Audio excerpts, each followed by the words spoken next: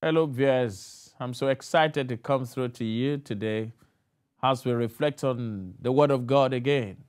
My name is Tunde Dada, a pastor in the Redeemed Christian Church of God. And I'll be reflecting on the topic Laborer in His Vineyard.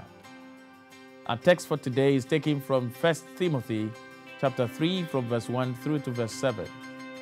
The Bible says, This is a faithful saying. If a man desires the position of a bishop, he desires a good work. A bishop then must be blameless, the husband of one wife, temperate, sober minded, of good behavior, hospitable, able to teach, not given to wine, not violent, not greedy for money, but gentle, not quarrelsome, not covetous, one who rules his own house well, having his children in submission with all reverence. For if a man does not know how to rule his own house, how will he take care of the church of God?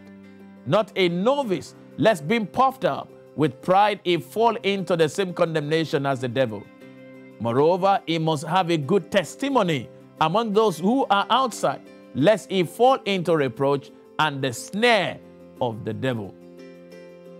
A memory verse, 1 Corinthians chapter 4, verse 2. Moreover, it is required in stewards that one be found faithful. The parable of the laborer in his vineyard is found in the Gospel of Matthew. Jesus tells the parable in Matthew chapter 20 from verse 1 through to verse 16. And in, in response to Peter's question in Matthew chapter 19, verse 27, the Bible says, We have left everything to follow you. What then will there be for us? The parable lets us know that as followers and servants of Christ, we are laborers in God's vineyard. We are God's workers.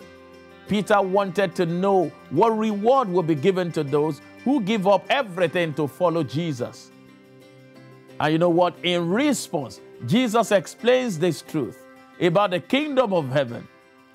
Planting, maintaining, and harvesting vineyards in first century Israel was strenuous. It was a strenuous work requiring hard physical labor in the heat of summer and so, why the analogy of a vineyard laborer? This was to demonstrate that the work in God's vineyard may not be easy. The first group of workers in the vineyard resented receiving the same wage as the last group who came later.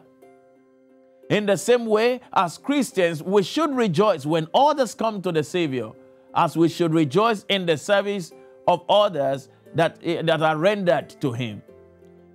God is faithful to reward us for our service as He has promised. And how He rewards others should be of no consequence to us, nor should it affect our devotion to Him.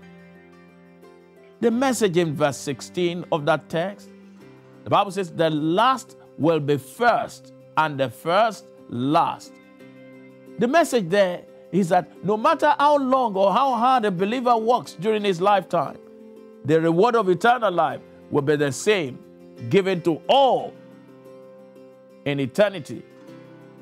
An eternity of bliss in heaven, in the presence of God the Father and the Lord Jesus Christ.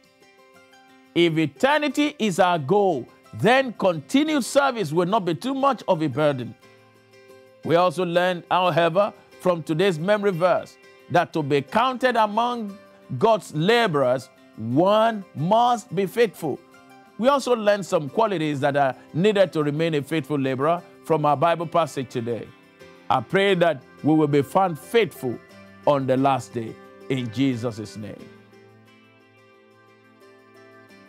Our prayer point I pray for you that the grace of God to be qualified as a laborer in his vineyard be released to you today in the name of Jesus. Thank you and God bless you. Bye for now.